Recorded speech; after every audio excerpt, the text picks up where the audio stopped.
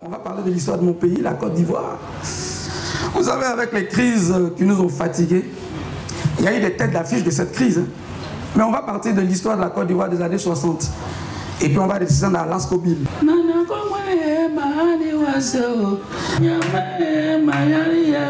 Non, vous voyez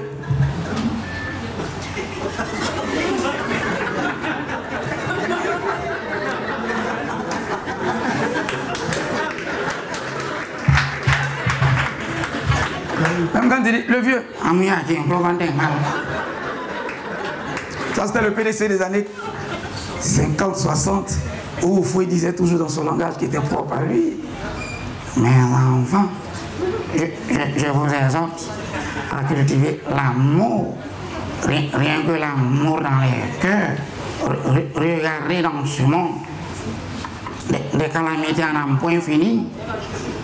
Il est très facile de, de faire la guerre, très difficile de faire la paix.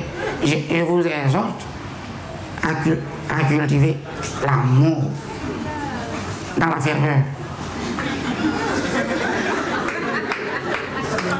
Et pendant 40 ans,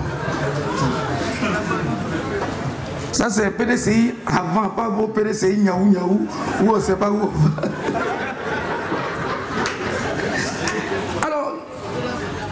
Oufoué, pendant 40 ans avec ses suppôts, ont géré la Côte d'Ivoire dans la paix, la convivialité, le partage, l'amour.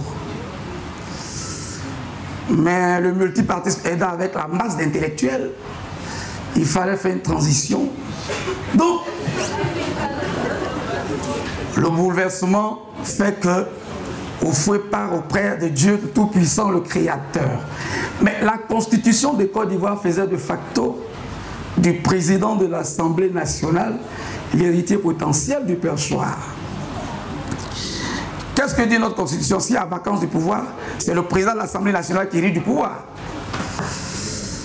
Alas Kobil, l'actuel président, était tout bon premier ministre? Il n'avait pas la démarche de l'émergence, hein. c'était...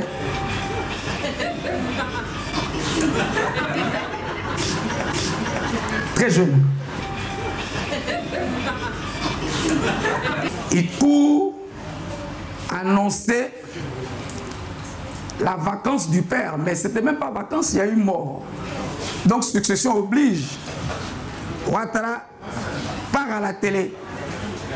Je vous dis, les temps ne sont pas glorieux. Le père s'en est allé. Quand Bédi a vu ça à la télé, tous les ballons ont dit, Nana, c'est un du langue Si tu ne vas pas, Djoula va prendre tout. Aïe, aïe.